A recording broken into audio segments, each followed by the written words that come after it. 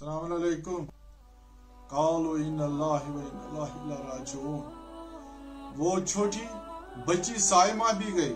سائمہ اب ہمارے نظروں میں نہیں رہی۔ سائمہ نے بولا تھا، میں گھر آنا چاہتی ہوں، مجھے گھر لے جاؤ، ادھر سے گھر لے جاؤ، لیکن کوئی کچھ نہ کر پا اور ہم نے بھی کوشش کی تھی۔ ہم نکلے تھے۔ ہم نکلے تھے، عمر صاحب نکلے تھے۔ ہم نے نیوز چینل والوں کو بتایا تھا، سب کو بتایا تھا، سب پر کچھ کوئی اثر نہیں، کسی کا کوئی نہیں۔ ہماری کون سنے گا؟ ہماری کوئی نہیں سنے گا۔ اور دوسری بات، ہماری بانڈی پورا کی یہ بچی سائمہ کے ساتھ ساتھ اور بچیاں بھی ہیں۔ اب پتہ نہیں اب ان کا حال کیا ہوگا۔ اور میں جس کو لانا ہوتا ہے وہ تو لاتے ہیں، جیسے کہ یو پی والوں نے، جیسے کہ یوگی جی نے۔ یوگی جی نے اپنے سارے سٹوڈنٹوں کو لایا۔ اور پتا ہے جب ان سے انٹرویو لیا گیا نا انٹرویو لیا گیا، ان کو بولا گیا کہ آپ کو اب گھر جانا ہے، آپ کو کیا کمی محسوس ہو گئی؟ وہ تین سٹوڈنٹ نے کہا تھوڑی سی کھانے میں تکلیف ہو گئی۔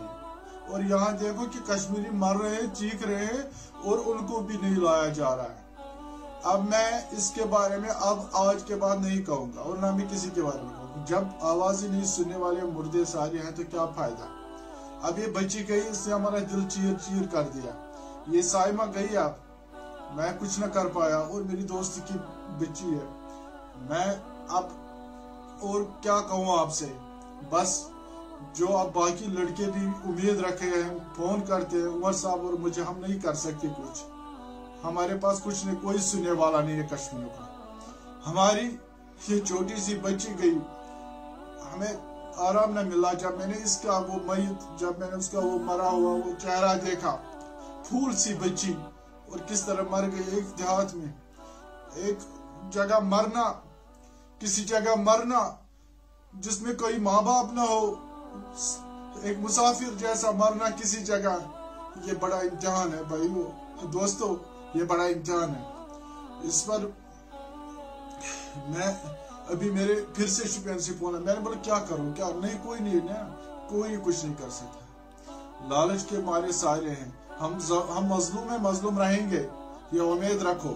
اور آپ کرو اپنے مسلمان پر دعویٰ۔ ہمیں صرف خدا بچا سکتا ہے۔ میں ایک بار پھر کہتا ہوں، حضرت یونس کی امت کو دیکھو۔ حضرت یونس کی امت، جب انہوں نے دیکھا کہ ہمیں اب غزبی الہی ہم گرفتار ہیں، انہوں نے خدا سے رجوع کیا اور بچایا پھر ہمیں ظلم نہیں رہے گا، ظالم بھی نہیں رہے گا، جو ہم پہ ظلم کرا وہ بھی نہیں رہے گا، لیکن ہم خدا سے ہی دور رہے باقی کسی پر امید نہیں رکھنی ہے بس یہی ایک بات کہنا چاہوں گا آپ سے۔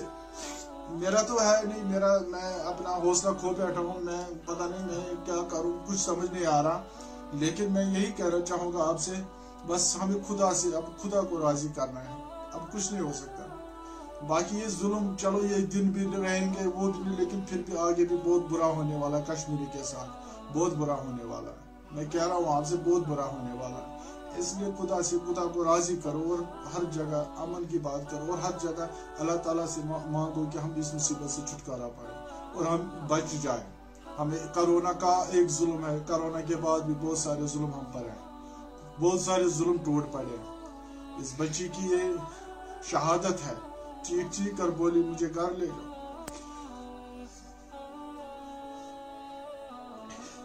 کچھ نہ کر پائے۔ تو میں میں ان کے گھر والوں کو تازے تر میں بھی معافی چاہتا ہوں۔ کچھ نہ کر پایا میں۔ اور کچھ باقی اگر اللہ تعالیٰ جو باقی لوگ ہیں، جس وقت جو ہے، میں چاہتا ہوں اس میت کو دیکھ کر، وہ خدا سے آپ اس چھوٹی سی پھول کو دیکھ کر آپ دیکھیے اس میت کو۔ اب خدا کو ہی راضی کرو۔ میں کسی گورنر صاحب کو بھی نہیں کہوں گا۔ میں کسی اعلیٰ حکام کو نہیں کہوں گا۔ میں کسی کو نہیں کہوں گا۔ میں صرف آپ لوگوں سے، مسلمانوں سے کہوں گا۔ خدا کو راضی کرو۔ باقی کچھ نہیں ہے۔ السلام علیکم۔